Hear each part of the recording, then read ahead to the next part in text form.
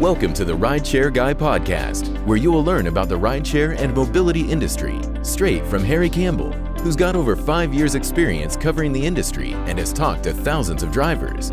There's no better place to stay up to date, entertained, and educated. So let's dive in. So, David Zipper perspective on cities and urban mobility is rooted in his experience working within City Hall, as well as being a venture capitalist, policy researcher, and startup advocate. David advises numerous startups, mayors, and transit agencies about the future of urban mobility, and his writing has been published in The Atlantic, Slate, Newsweek, Fast Company, covering topics such as mobility as a service, transit fare payments, and the relationship between transit and ride hail services. He's currently a visiting fellow and at the Harvard Kennedy School's uh, Center for State and Local Government. So, David, how are you doing today? Doing great. Thanks for having me back, Harry. Definitely. I uh, appreciate you coming back on for your, your second time. So, obviously, the first one, maybe I wasn't tough on you enough because you're still back for more. Exactly, but I'm sure you'll fix that this time. well, I'm really excited to chat with you today because we've got a good topic. Uh, I think that you wrote a recent article, um, and I can read the title off here. We'll link to this in the show notes so that people can read the full article because I think it's a really interesting uh, topic on the driver's side, but also the potential impacts down the road. So, your article was titled, Did Uber Just Enable Discrimination by Destination? So, my first question is who came up with that title? It's a good title. this time, and it doesn't usually work this way for those people who are curious, I actually think I may have come up with a title myself. All right. Because uh, it was honest. That was the genuine yeah. question that I had when I learned about this uh, this change on their driver platform. Yeah, and I think that that's. I just wanted to bring that up. It's a little funny, right? Because people always tend to look at the titles, not read the article, and so uh, you know, I always see authors saying, "Oh, you know, it was my editor who came up with this title," so we had to get the bottom of that one.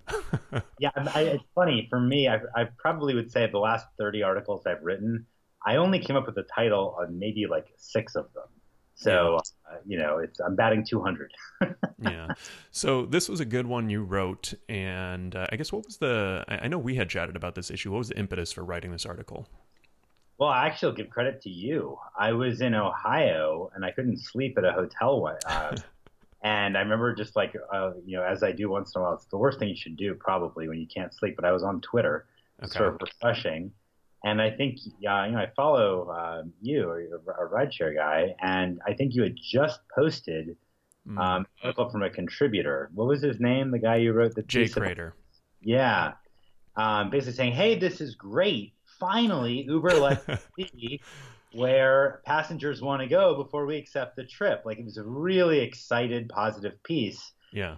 And I remember like sit. I, I think I tweeted in the middle of the night responding to it it was uh, thinking this is actually really dangerous mm-hmm.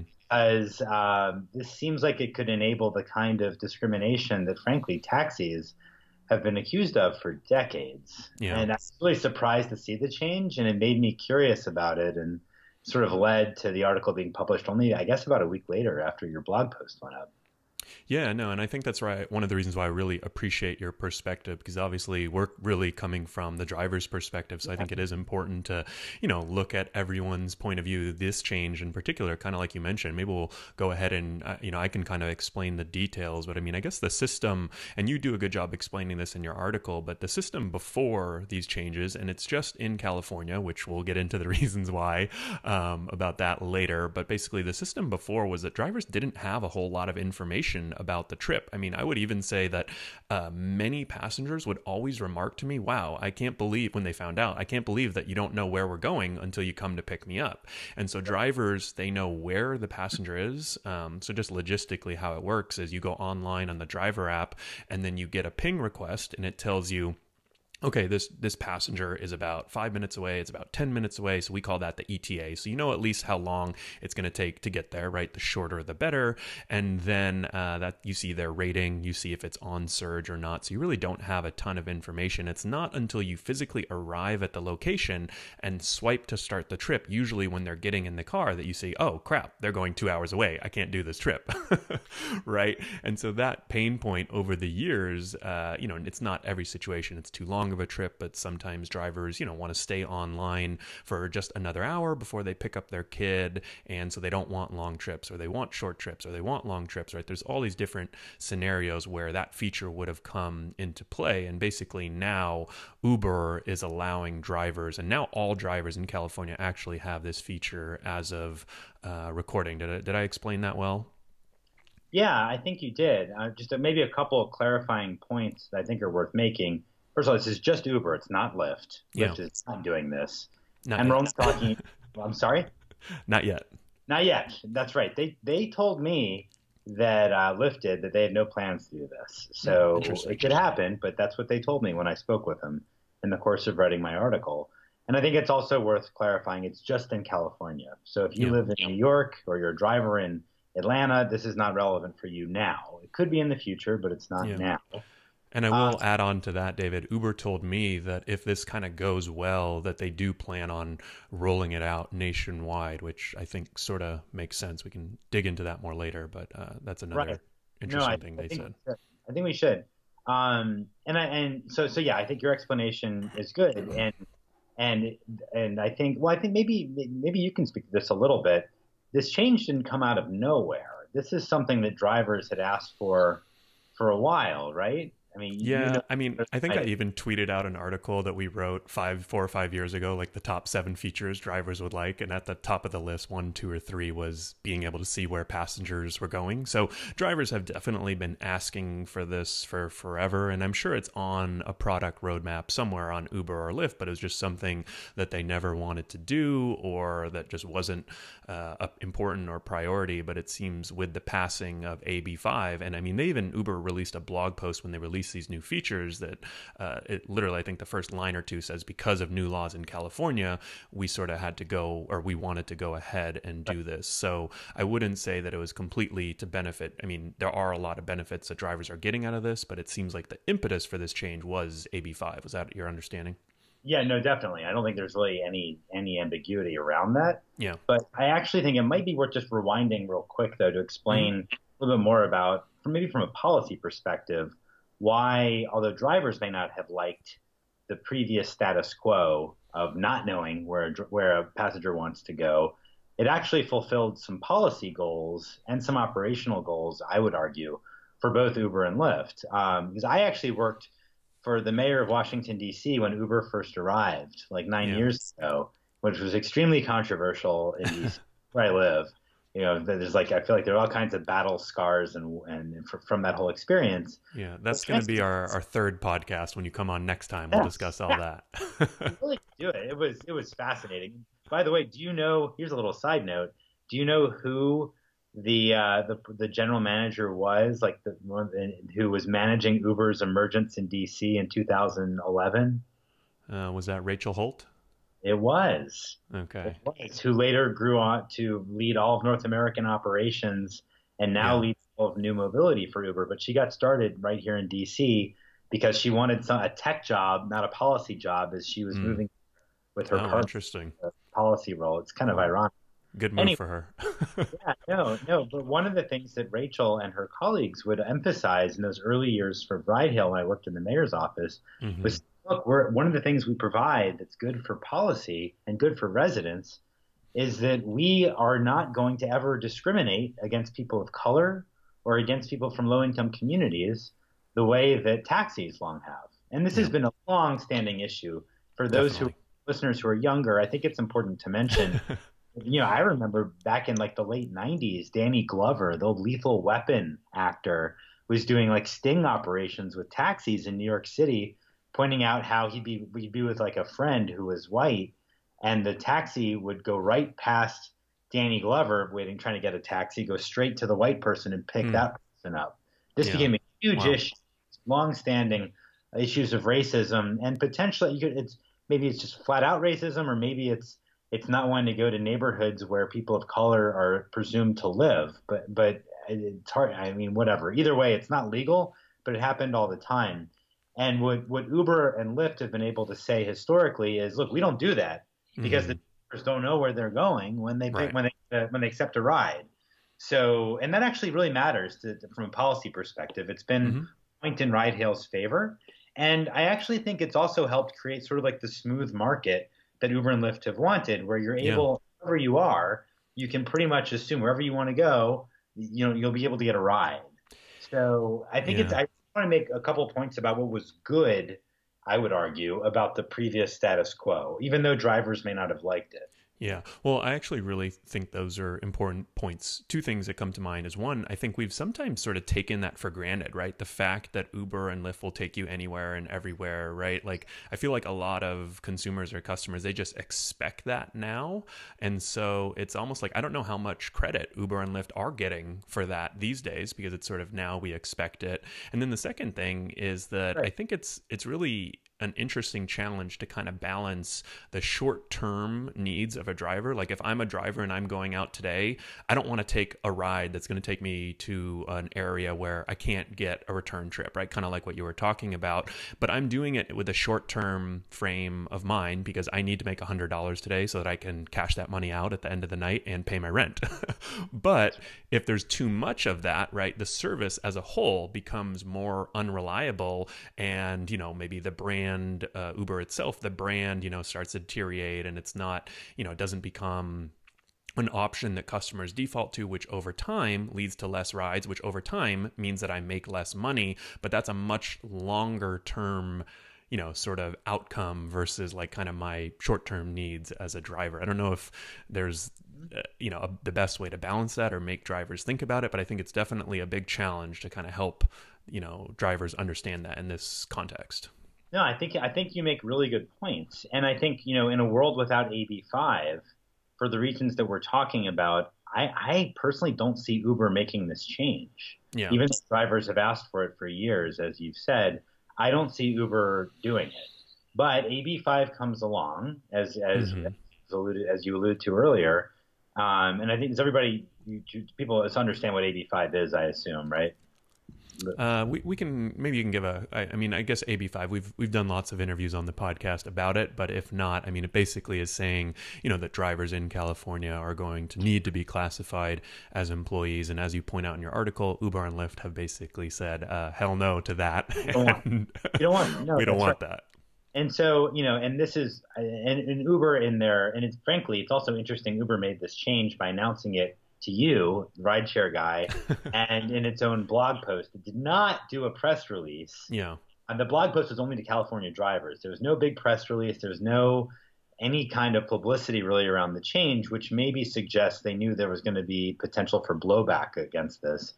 But what what Uber um, what, what what Uber said is, you know, we want to give more knowledge and information to drivers so they can decide for every trip whether or not you, you know you want to accept it.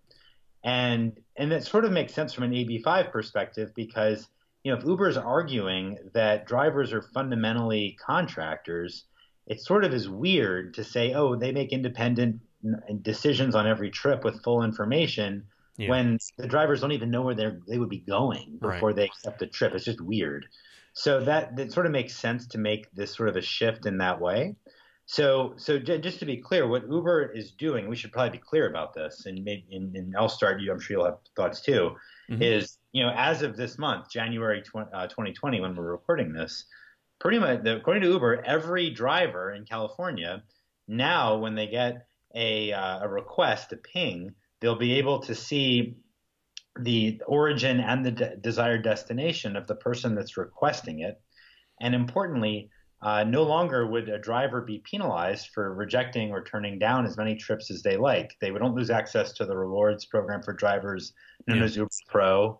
Um, and I believe, do they get other information too that's new? You would know better than I, perhaps, on this. Yeah, I mean, so really, you know, so drivers have never, well, not never, but over the past few years, they haven't been technically penalized. So they call this the acceptance rate, right? So you get 10 right. trips, you accept, let's say, eight, you now have an 80% acceptance rate. You weren't, you could have a 0% acceptance rate technically and not be deactivated, but they did require, I think, an 85% acceptance rate to become a part of Uber Pro, which I think think at, at, at first, you know, actually gave you more money. um, so that was right. very valuable, but they took that feature away. So there's some benefits and there's some features of Uber Pro that uh, drivers, you know, want to maintain that status, but it's not uh, life or death, you know, make or break your career kind of rewards or status. You can kind of still get by without right. it. So, I think. Do you think we've done kind of a good job explaining the logistics, sort of how it was before and how it was after? Because I think now, like you said, right now, drivers can basically see where passengers are going. Right? Is there anything else as far as the logistics?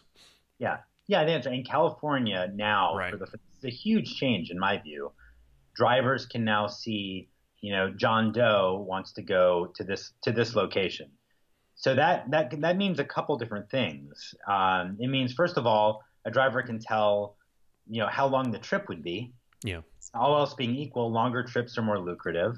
So it could be that a longer trip, a driver might say, oh, you know, it'll take me 12 minutes to get over there, but this person wants to go 35 miles, so it's worth right. it. Whereas before this change went into effect, say in you know November of last year, they wouldn't have known that that was a 35 mile trip. So they probably would have said, I don't want to go 12 minutes to go pick this person up. What if they only want to go a mile? Yeah. So that so maybe longer trips get get get chosen more easily, but it's not just the the length of uh, the the duration of the trip that people now know, drive drivers now know. It's also the ultimate destination. Mm-hmm. That opens up some some questions, a lot of questions in terms of you know, our, I would argue with my my sort of policy hat on, mm-hmm. it opens up questions about what's going to happen for people who are living in low income uh, minority communities that might actually legitimately have less demand for yeah. a, a, another ride hail trip compared with, say, a downtown uh, hotspot in the evening. But those yeah. people just want to get home. Like, yeah. there's nothing wrong with wanting to take an Uber to get home wherever you live. And I think there's there is the potential potential for drivers to make a pattern, at least some of those drivers, of declining trips that bring them to low income minority communities. And if that happens, that's a major policy problem. And it's something that I would argue regulators are going to need to respond to.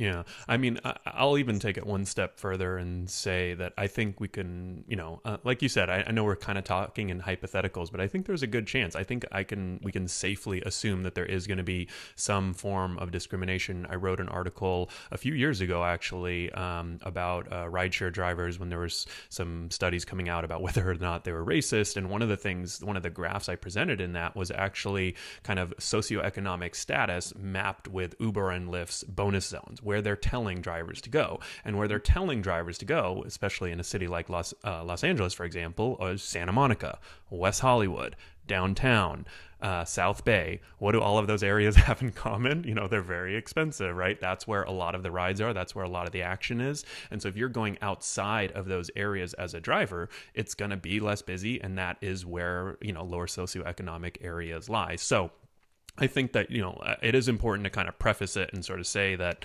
uh, we we don't know for sure, but I do think that it's definitely something people should pay attention to because I have a pretty good feeling it's going to happen. So I guess my question to you would be, what uh, I mean, I guess is you know, without being too harsh, I mean, like, what are the the downsides, right? Like, if I'm, uh, you know, a driver, for example, and I don't want to go to an area because I'm not going to get a return trip, is that necessarily, you know, it, it's almost like I, like I guess there's certain cases of direct racism where you know if you skip over a passenger who's uh, black to pick up someone up who's white, I think that most people will agree is not okay. But what about those more gray area where I would say if I'm a driver and I don't want to go to a lower socioeconomic area, not because of the passenger, but because I won't be able to get a return trip, more because of the financial reasons. What do you think about that? Well, I would argue two different ways. I would say first of all uh, according to Uber's own community uh, standards, that you can't do that. Mm-hmm. Like Uber has community standards that explicitly say, and I'm quoting now, it is not acceptable to discriminate on the basis of a rider's destination or a customer's delivery location. Got it. So if there's a pattern of that behavior of driver X systematically declining trips to, um, you know, pick whatever neighborhood you want. I don't even yeah. want to say one. Um, suppose that that goes against Uber's rules. And I spoke to people at Uber who didn't want to be quoted, but they they said uh, uh, that this that they would take action against drivers who did mm-hmm. that. It's happened. The question is, I don't know what the standard is. They wouldn't say what the standard was for to, to yeah. take it. Well, there is no standard yet. right, right. And what's the penalty? Is it just yeah. a slap on the wrist? Is it like, I, you know, that's a question. But that that's how Uber. That's a question of how Uber would manage it itself from a policy making perspective, you know, this is becomes a question of what we as res, as being part of society feel like we uh, we owe each other with regards to our mobility network. Mm-hmm. And this is why it's not legal for a taxi driver to go past an African American person to pick up a white person. That's flat out illegal. Yeah. It's also illegal for a taxi driver in New York, say, to uh, when you hail one to say, "Hey, where do you want to go?" Mm-hmm. Before, and then drive off if they don't want to go where you want to go. But these things happen all the time, yeah. but it's legal, and you can be reported for it. A driver can be, and they can be penalized. And the reasons we have rules like that are because we think that no matter where you live in, a, in an urban area, you deserve an equal access to various forms of mobility, including including taxi or ride hail service. Ride hail, I'm only mm-hmm. bringing up for the first time really in these conversations because you know it's never been a problem before. Yeah, that's the thing. So so I I, you know, I, spoke with some regulators, including the former um, director of the New York City Taxi and Limousine Commission, who said, "Yeah, I mean, it, like it, with a, if a change like this happened in New York, which by the way could happen." because New York State is one of those that's considering legislation along the lines of AB five. Well, then, then one of the, something that that the uh, Taxi Limousine Commission could do is to say, look, well, we we want to protect New Yorkers' rights to have equal access to ride hail, among other forms of mobility. So we're going to start for the first time collecting data, mandating collecting data mm-hmm. from the ride hail companies to show acceptance and rejection data from drivers based on location. And yeah. we'll penalize the providers if people say in East New York, which is a lower income community in, in Brooklyn, are getting declined for their trips far more frequently than those are who live in Manhattan. Yeah. That that's a real thing that could happen, I would say. And uh, frankly, it's a reasonable thing to have happen. Yeah, no, and I want to dig into the data side and how you might actually enforce this. Before we move on, I think I, I wouldn't say that you've convinced me, but I'm thinking that we're actually, you know, somewhat on the same page because the way you explained it, I mean, basically, it's, I think it makes sense that it's illegal for me as a driver that I can't not take someone to a certain part of town because it's unprofitable let's say. I guess where it gets a little tricky is how do you balance that with you know whether it's you know kind of a profitable ride for you in general not right? Like when you hire like i'm hiring right now a taco cart for my son's birthday and because they're a certain i'm too far. I'm outside their 25 mile distance so they're charging me an extra $75 right?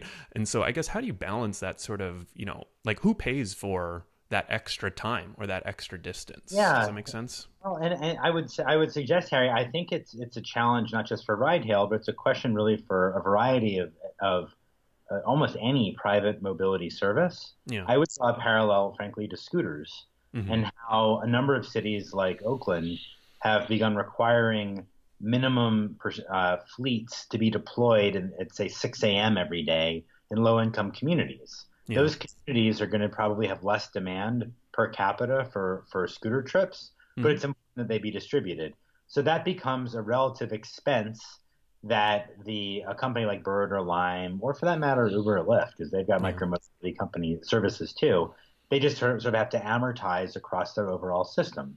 So what I would what I myself would argue, and this is just David speaking, is that you know if there's who who actually bears the the the the, the cost of the fact that a trip to a low income community might be less profitable for the driver than one going downtown.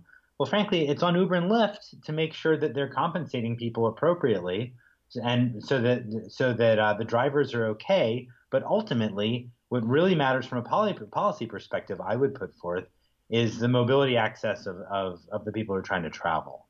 And it is Uber and Lyft ultimately, in my view, that they provide an equal opportunity to mobility, regardless of, of where in a city you live and what the color is of your skin. And frankly, I, I think that's always been the case. It's just now with this change in that in, Uber's platform in California, it suddenly becomes a bigger question yeah. of whether Uber might fail to meet that threshold.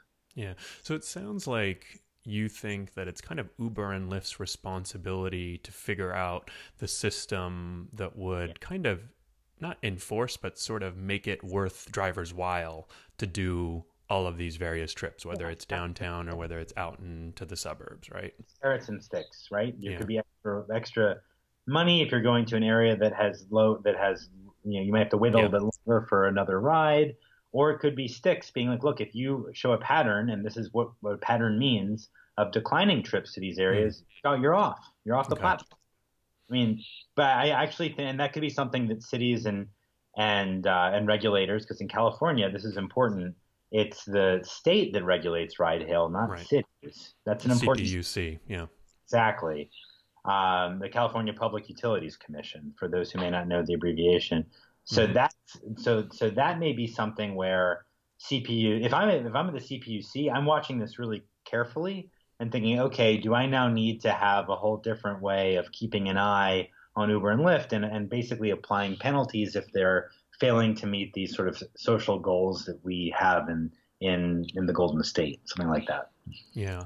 Yeah, I think that makes sense. And that's sort of where regulators step into the picture. I think the two things that come to mind, though, is number one, regulators are kind of understaffed. I just saw an article, a pretty in depth uh, uh, kind of report, I guess you would almost call it, uh, today from the San Francisco Free Press, I believe it was called. I'll leave a link in the show notes, but they sort of were looking at some of the safety issues around the vehicles that Uber and Lyft are using. And a couple of the quotes that stood out to me from the CPUC was basically just that we don't have enough people to, to regulate these multi billion dollar companies. So it seems like that could be one challenge. And then the second thing is what you touched on earlier is they don't even have the data to, you know, they, they couldn't regulate this even if they wanted to, right? Because they sort of need to have that data fight and at least start getting some of that information and the acceptance rates and all of that first, right? it, right? I mean, that could be a new data set they require, Mhm.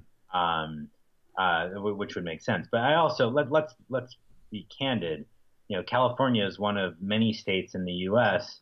where Uber and Lyft have done a very good job of taking regulatory oversight away from the cities, where the vast majority of their trips and and put that oversight at the state level. So, uh, you know, my heart does not bleed for Uber if they have a tough time fulfilling new requirements that come at the state level because Oh no, I, I think we agree there. I know. I think they definitely need to. You know, I, I guess I'm. I think they need more regulation. I'm just. It's sort of like one trend I've noticed from the outside. It's like no one really like. This is like picking a big fight with a big bad boxer, right? Like no one really wants to get into this fight, this battle on the regulation side. And I mean, I understand why, um, but someone does need to do it.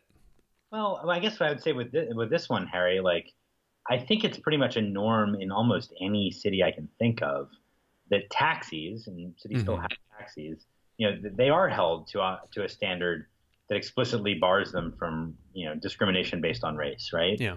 So there's there's some experience that that regulators should have of enforcing that and keeping an eye on it.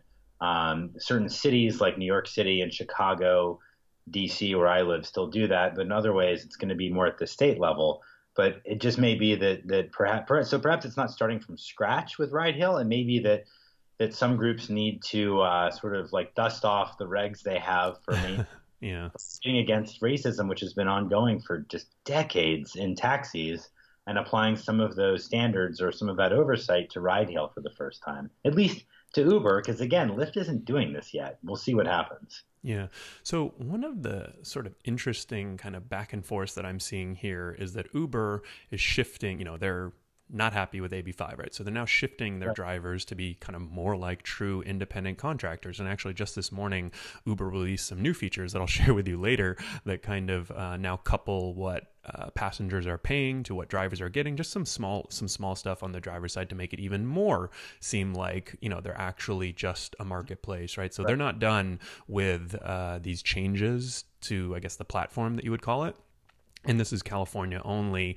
But at the same time, you know, some of these, uh, I, I guess, regulations, like, right, if you're going out, like, how do you balance what Uber's trying to do and say that they're a marketplace just connecting drivers and riders with actually enforcing it on Uber? You know what I mean? Like, if Uber is just a marketplace connecting drivers and riders, shouldn't you be enforcing it with drivers? Like, how do you think regulators might balance? I think Uber is the one who you want to go to, but it's sort of like I almost see it like now from the other side, like from Uber's perspective, like, wow, we're now treating our drivers like independent contractors, but now the regulators are like, you know, making us do all these things to drivers, or is it that's just their responsibility? Yeah, I mean, I think. Uh I mean, I think that's sort of what lies behind AB5 at the most basic level is this sort of sense from its proponents that at the end of the day, it's Uber's responsibility. Like the mm-hmm. drivers mm-hmm. For Uber, right? I think you would yeah. agree with that. I know you have some. Well, I, I, definitely agree with that now, but I mean, the more they shift into an, if they continue to shift into an actual marketplace, I think the less I would agree with that.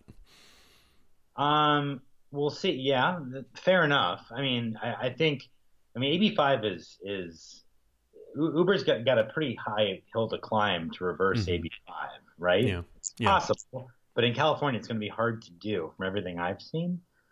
So, given that that the law of, of the state is that um, you know drivers really are full time employees for Uber by and large, Uber and Lyft. I, I mean, in, to get back to your earlier question, to me, the natural extension is to say, okay, it's on Uber, not on the drivers, yeah. to ensure that, that, the drivers are not discriminating. It's Uber's responsibility. Yeah. Um, that feels like it's the underlying attitude of AB5 is to say, like, sorry, Uber and Lyft, you're responsible in a way that you may not have wanted, but that's just how it's going to be. And to yeah. me, that implies you're responsible not just for, for you know how people are compensated, your your drivers are, but also you're responsible for for uh, for for avoiding discrimination. Yeah, yeah, that that makes sense. So I think the last kind of topic uh, or aspect of this topic that I want to hit on, and then of course if we miss anything, let me know. But I, I, mean, as far as I guess the best solution to fix this, it seems like from what we've discussed so far that regulators need some data. They kind of need some insight from Uber uh, and maybe Lyft if Lyft starts doing something similar. Uh, what do you see? Do you have any ideas as to how you know, is this system something that it would just won't work like this, or what, what do you think? So that is the, the, question. What's the next step? I think yeah. if it was so. Again, I, I live in Washington D.C. I'm not a Californian, but if I were in California now, and I was a regulator, I'd be concerned. I, I think now is when CPUC should be observing this change and saying, all right, we, we now need to start collecting acceptance and rejection by destination data from mm-hmm. the ride companies and have capacity to interpret it. So maybe you go back to the state assembly and get more funding for it or whatever. But that's something that they're going to need to start doing. But I also think that that what we're probably going to see, I would I would hope, uh, is uh, some studies that'll be done by some thoughtful academics, because California has some great universities for transportation research: Berkeley, UC Davis, Stanford too. Um, and basically, just this is not a hard thing to to figure out. You can create dummy accounts or whatever and say, let's see if it's if I'm mm-hmm. getting if my trips if the if the origin is exactly the same mm-hmm. in San Francisco and there are some destinations that are you know at, at, San Francisco Airport that are some that are three miles away still in San Francisco and there are some that are in a lower income community in, in Oakland do those does that that final group get rejected more frequently that's not a hard study to do and I yeah. suspect it's going to happen and the findings from it, I hope get public. I'm sure mm-hmm. they will actually. Yeah, and I think I, they might. yeah, seriously, right? Um, but I think that if it if it suggests what you and I are both worried about, which is there will be a discriminatory effect, well, then I think then it's maybe going to light a bit more fire under CPUC to say, look, you guys got to really be on top of this. Yeah. And I think it's going. to I mean, you know, this is a small community of mobility regulators nationwide, I have to think when I in fact I should I should note when I wrote my article in December, nobody on the policy side I spoke to had any idea that Uber made this change in California. Nobody. So you're knew. saying that they don't subscribe to the rideshare guy. I well well maybe maybe they should. right? Seriously.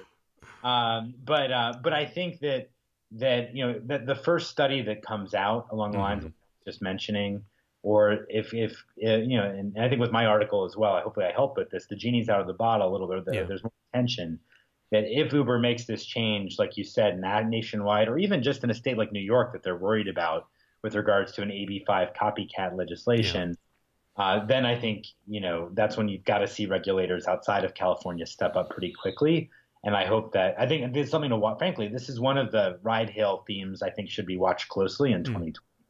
Yeah.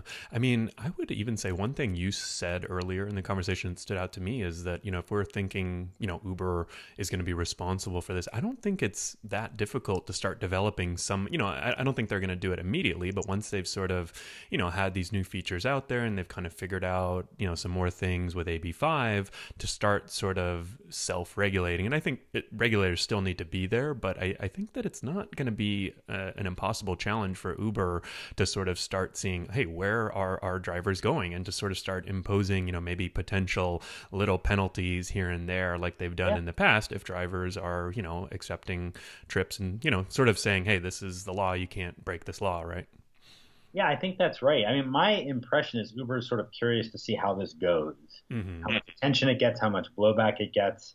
So I think you're right. Uber has tools it could use if it wants to. Um, but it'll be it'll be interesting to experience. And I guess the, one of the last, if I could, one of the last points yeah. I might make is, um, you know, you, for the listeners of the podcast who are in California, keep an eye out. If you if you take Uber, um, you know, if you're visiting or or if you reside in a low income or minority community and it seems like it's harder to get a, a trip, you're waiting longer than before. Let people know. Tweet about it. Tweet to yeah. tweet to me. Tweet to you. um, but also and, and this is something we skipped over, but it's worth mentioning too. It's not just about the effect on low income or minority communities. Mm-hmm. You know, mm-hmm. it's going to be an impact. You and I have talked about this before. There's likely to be an impact on just longer and shorter trips. Mm-hmm. So let's say that you you just are in downtown San Francisco and you want to go to the Mission or something. It's a short trip.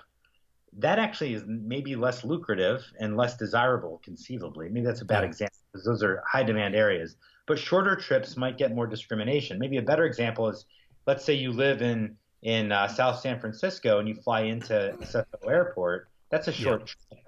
You very well might get Uber drivers who say, you know what, I'm just going to wait until somebody wants to go into the city or into Oakland or whatever or San Jose.